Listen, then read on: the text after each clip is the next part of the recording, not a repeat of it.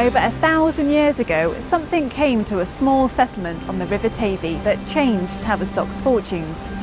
Founded by Ordulf, the Earl of Devon, and brother-in-law to the Saxon King Edgar, Tavistock Abbey became one of the wealthiest and most influential places in Devon. With the Abbey came hospitality for travelling visitors, fairs and market charters, which provided trade and employment for local people, education and a revolutionary printing press.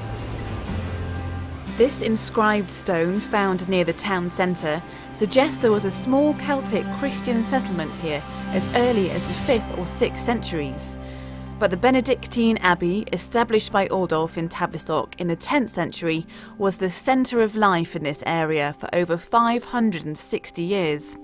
When King Henry VIII ordered all of the abbeys and monasteries in England to be closed down in 1539, Tavistock lost both a beautiful set of buildings and the landlord who had presided over the community's affairs for centuries. You can still see many surviving remnants of the abbey today. The precinct wall in Stillhouse Tower by the river mark the boundary of the abbey.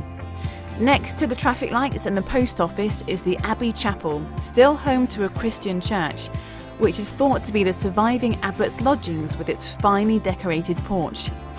Across the main road is an archway called Court Gate, which was almost certainly the main entrance to the courtyard of the abbey.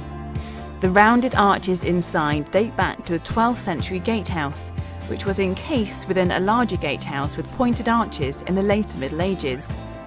On the other side of the Bedford Hotel is Betsy Grimbal's Tower, another surviving gatehouse to the Abbey, with a stone coffin and the garderobe or toilet chutes and drainage channels which ran down to the river. Across the main road from here are the arched remains of the Abbey cloisters, which are half buried in the graveyard of the parish church. This enormous abbey must have dominated Tavistock and as well as its remains, many of the buildings you see today, like the Bedford Hotel, stand on its footprints.